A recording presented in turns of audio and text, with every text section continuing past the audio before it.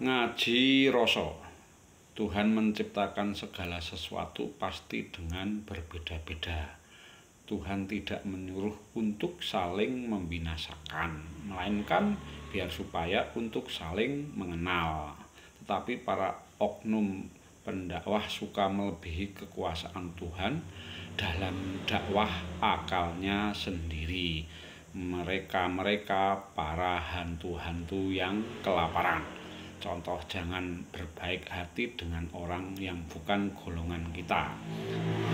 Ada lagi anak-anak yatim yang di waktu orang tuanya hidup bukan dari bagian golongan kita, bila perlu binasakan juga. Ini adalah dakwah yang jauh dari rasa akhlakul karimah dan tidak lagi punya rasa kamanungsan. Mari kita berusaha menjadi seseorang yang saleh-saleh saja. Terima kasih.